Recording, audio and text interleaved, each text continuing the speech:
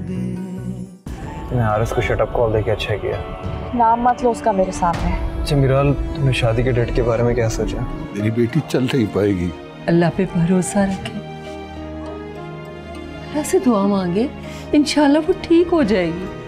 मेरे लिए माफ़ी की कोई गुंजाइश है? मैं खुद को इस बात का यकीन दिला चुकी हूँ कि मेरी ज़िंदगी की कहानी में तुम मर चुके हो।